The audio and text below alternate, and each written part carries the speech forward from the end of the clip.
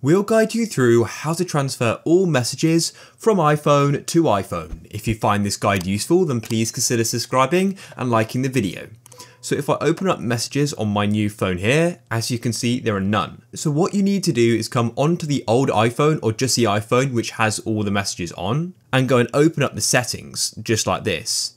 In your settings, come right to the top, and you need to go and click on your name, which also says Apple ID and iCloud settings just here, and then what you need to do is scroll down a little bit and then go and click on iCloud just here. This will take you to your iCloud settings and what we can do is back up all of our messages to iCloud and then we can go and download them from iCloud on this iPhone here. All this requires is that you use the same Apple ID and you'll also need enough space in iCloud.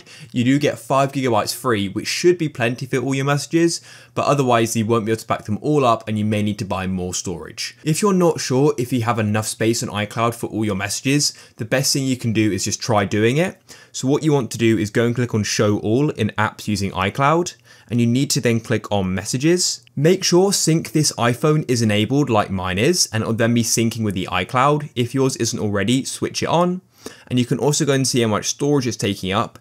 As you can see, mine is 400 megabytes. And so what you can do is then go and check your iCloud if you come back and I do have enough space, I've got a gigabyte free. If you don't have enough space, you could always go and turn other things off. For example, I could go and turn off my iCloud photos to go and give me enough space to do the transfer, for example. It may take a few minutes to upload all of the messages to iCloud from your old phone, and then what you can do is go and click on settings on your new phone and go into your Apple ID and iCloud settings again at the top here, and then you can go and click on iCloud and click on show all in apps using iCloud, and you need to go into messages and turn this on. Then it will take a minute to enable it. And now what's going to happen is it's going to download all of your messages to this iPhone.